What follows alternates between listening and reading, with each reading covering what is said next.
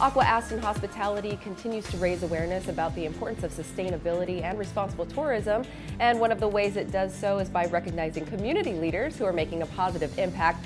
One of those being Nainoa Thompson, the president of the Polynesian Voyaging Society. Aloha. Aloha. You are making a huge difference. I know a lot of people followed you in the Malama Honua voyage.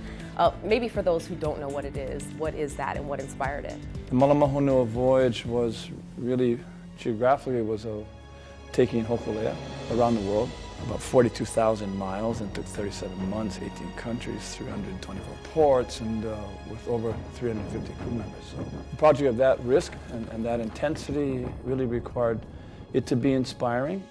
So now you're going to steer, and uh, you see the high clouds on the top? They're moving slow. I believe in Hawaii, that Hawaii has capacity to do great things when it's united. But the real inspiration was from one of my very, very best friends, uh, Lieutenant Colonel Lacy Veach, and he was Aina.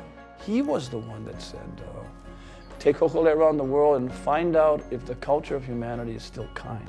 Not about race, it's not about geography, it's not about the boundaries of nationalism. It's about values, and, and that's reflective of how we live in Hawaii. Can everybody say mahalo? Mahalo. Aloha. Aloha. Malama honua.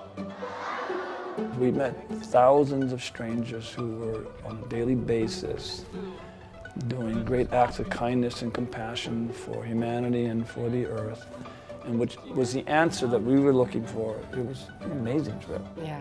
What do we do? How do we take this and instill it into people here every single day? What changes do we make? Hawaii, I think, needs to first recognize how extraordinary it is. Change is required. It's a speed of change that's important.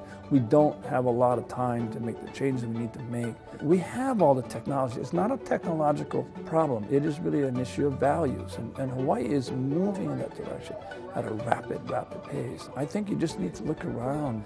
What community organizations and people, individuals and schools, there is just an infinite amount of opportunities here in Hawaii. It is really the school for change.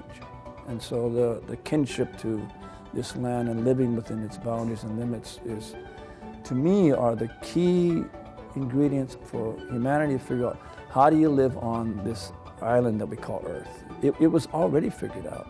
In this dirt, in this ancestry, in, in, in this place are the answers for tomorrow also. And really for the world. I mean, it For starts here. yeah. Okay. Thank you so much for joining us, Nainoa. And we'll have more information posted on our website on how you can get involved on HighNowDaily.com. This segment is sponsored by Aqua Aston Hospitality.